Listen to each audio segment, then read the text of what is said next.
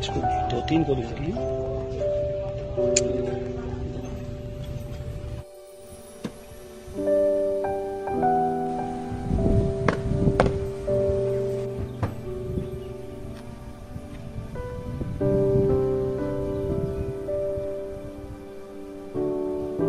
Give me high five. Ah.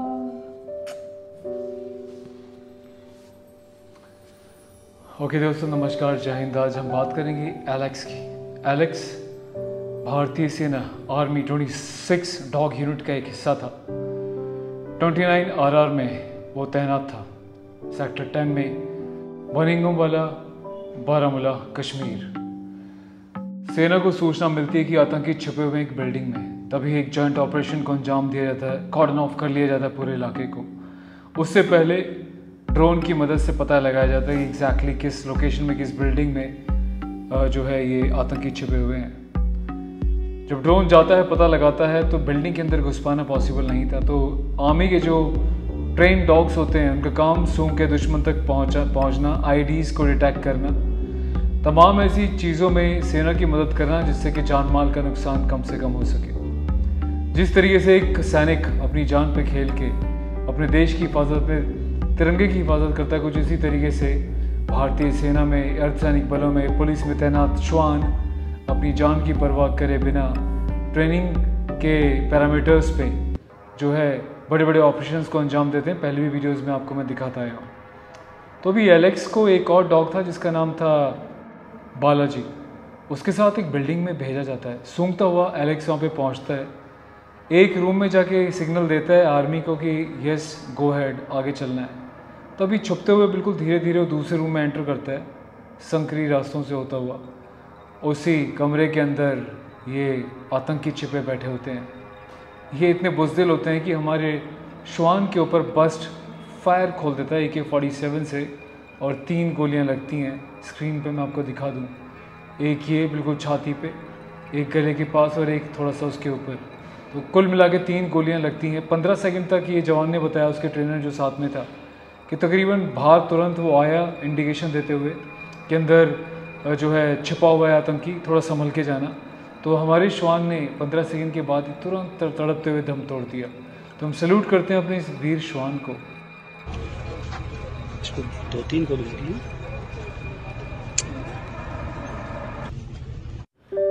कि उन्होंने जो अपनी जान पे खेल के हमारे जवानों की जान बचाई और सर्वोच्च बलिदान की प्राप्ति की, जिसके लिए उनको पूरे सम्मान के साथ जो है उनका अंतिम संस्कार किया गया। खुद वहाँ के जो सीन ऑफिसर्स हैं, उन्होंने उनको अंतिम विदाई दी।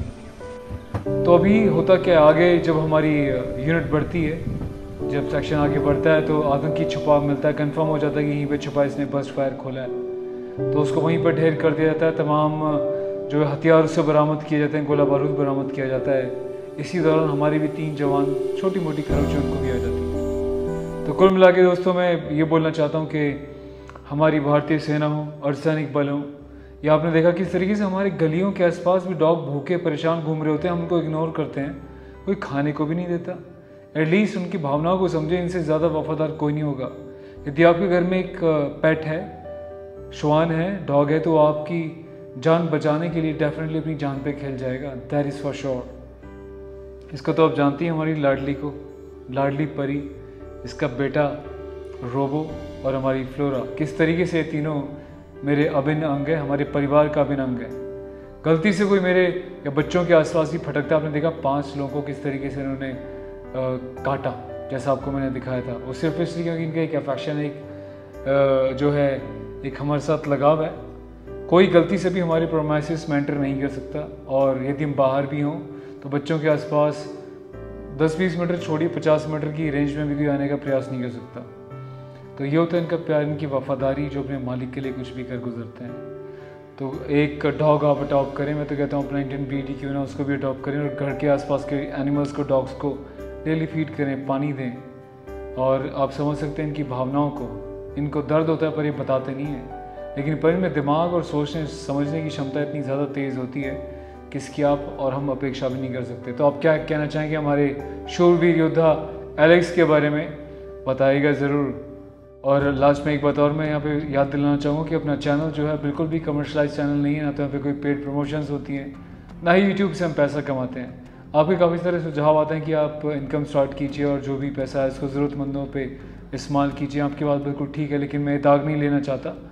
कि जब भी हम कोई वीडियो बनाते हैं तो मैं उस वीडियो को सामने लेकर आता हूँ जो मेरे दिल पे जो है लगता है और मुझे लगता है कि इस आवाज़ को उठाना चाहिए। लेकिन लोग ऐसे भी हमारे देश में जो कह देते हैं कि पैसे कमाने के लिए वीडियोस बनाए जा रहे हैं, बनाते हो, व्यूज़ के लिए वीडियोस बनाते हो। तो ऐसे लोगों की मानसिकता तो उनके साथ रहेगी, बाकी हमारा कर्म हमारे साथ है। हमारी देशभक्ति, आप जैसे अच्छे लोगों की देशभक्ति जो हमारे चैनल रॉल सोजर के साथ जुड़े हुए हैं, उसको भी मैं दिल से नमन करता हूँ।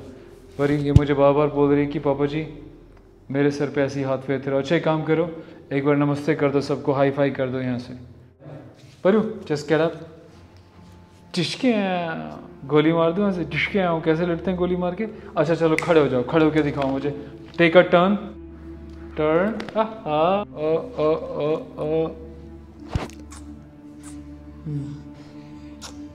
इतनी खुश हो गई है? हाँ? चलो लेट्स गो गुड बाय जय हिंद परी देख सामने देख। परी सामने देखो, हमारे रॉयल सोलर फैमिली के व्यूअर्स आपको देख रहे हैं। उनको हेलो तो बोल दो एक बारी हाँ?